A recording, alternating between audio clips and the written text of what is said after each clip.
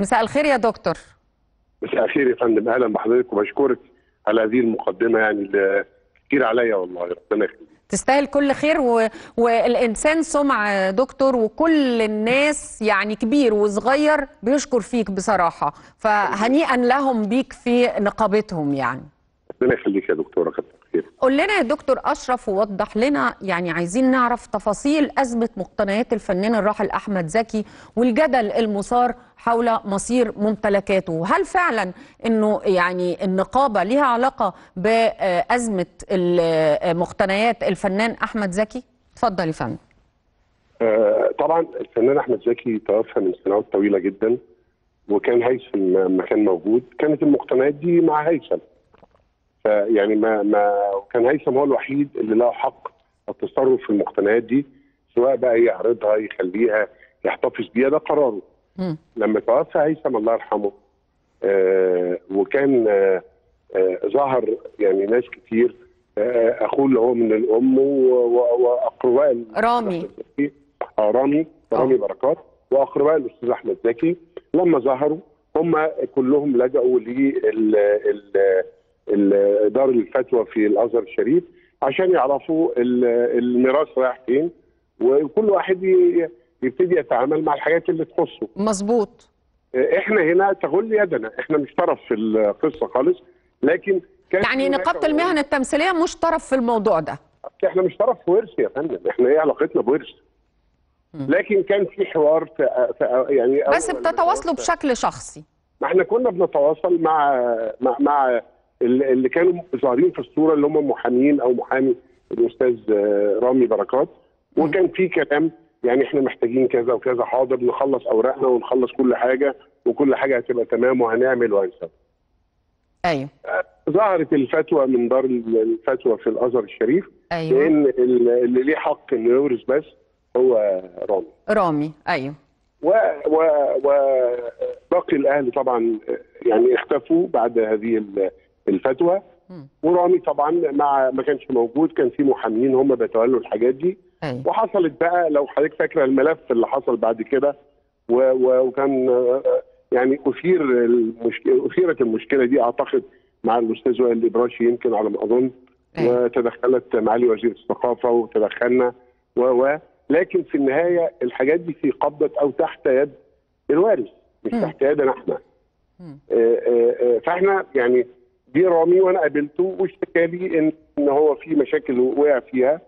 آه، آه، أنا مش بصدد إن أنا أفتحها دلوقتي كي لا أكون طرفا في الخلافات بين رامي وبين يعني ال- ال- الفريق الدفاع اللي كان معاه. أيوه لكن واضح إن في أشياء حصلت وموجود الكلام ده يعني على مواقع التواصل الاجتماعي. ورجع اشتكى. تانية اليومين دول. لا أنا بتكلم لما رجع كان رجع من حوالي سنة تقريبا. أيوه يعني أنا ما أعرفش بقى رجع دلوقتي ولا لا.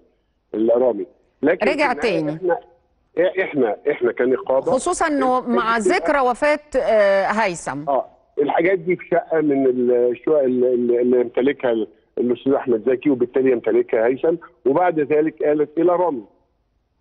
فاحنا مش في إيدينا ولا عندنا الصلاحية ولا عندنا ال- الشكل القانوني ال- ال- اللي إحنا ممكن نحط يدنا على الحاجات دي. هم باعوا الشقق دي للناس والناس اشترت الشقق بما فيها. وحصل تواصل والكلام ده كان على الهواء بين ال- الناس اللي اشترت الشقق وبين آه، يعني المسؤولين في وزارة الثقافة وحتى معانا إحنا كمان.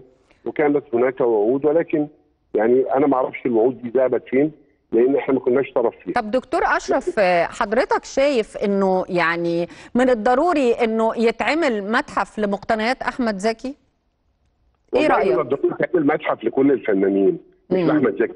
أيوه لكن خلي بالك إن هيثم لما كان موجود وكانت أيوة. الحاجات دي في حوزه هيثم وبتاع كان يعني يعني أعتقد بس أنا طبعا ما أقدرش أحط نفسي في تفكير هيثم أو هيثم كانت دماغه بتقول إيه أو عايزة إيه يمكن كان عايز يحتفظ أنا بقول يمكن معاه. الناس يعني أكتر حد مطلوب ده لأنه الوحيد اللي يمكن أسرته كلها راحلة يمكن في فنانين كتير رحلوا ولكن أقربائهم وورثتهم موجودين. لكن. ال... يمكن الفنان أحمد زكي عشان يمكن كل أسرته راحله رحلت.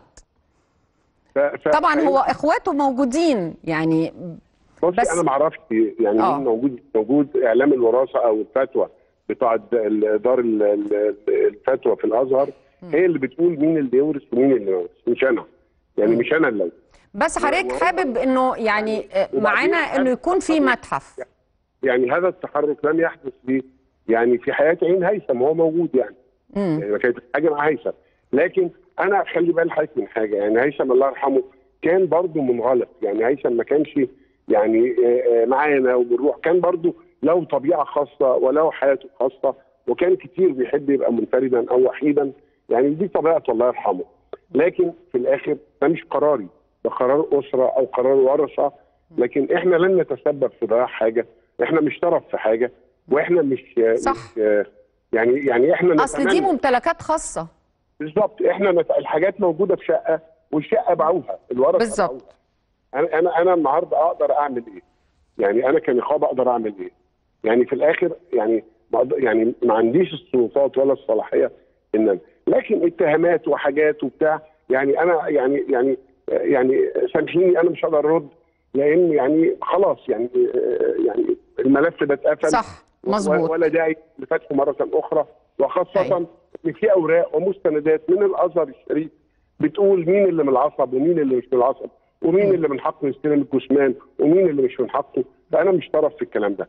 وقضية إن حد كلمني وأنا ما ردتش عليه سيادتك تعلم إن أنا برد على أي تليفون بيجي لي يعني أنا يعني طبعا. ده إحنا يعني عهدنا بيك إنك بترد على الصغير والكبير آه، دكتور أشرف. مشكلتي إن أنا برد على أي تليفون أي ده تليفون. صحيح ليه بقى؟ هقول لسيادتك حقيقي؟ لأن التليفون اللي جالي بلغني وفاة هيثم كان تليفون مش متسجل عندي. يعني آه. تليفوني رن فبقول ألو. لقيت حد بي... يعني حد محترم بيكلمني بيقول لي حاج فلان الفلاني قلت له آه. قال لي طيب هيثم كذا كذا. فأنا برد على التليفونات اللي ما أعرفهاش واللي أعرفها واللي في إيدي بعمله. أنا استحالة ما اردش على حد يعني. آه. وكمان حضرتك كنت أول واحد موجود ونهيت الإجراءات. أنا عارفة. يعني. واستأذنت وتقدمت بطلب للمحامي العام آنذاك وإن أنا أستلم الجثمان لأن لم يكن هناك أحد من العصب. هنتكلم في كلام قلنا قبل كده يعني مش في مجاله يعني وخلاص. يعني ربنا يرحم الجميع و... و... و... و... وربنا قدرنا نعمل حاجة لباقي الزملاء.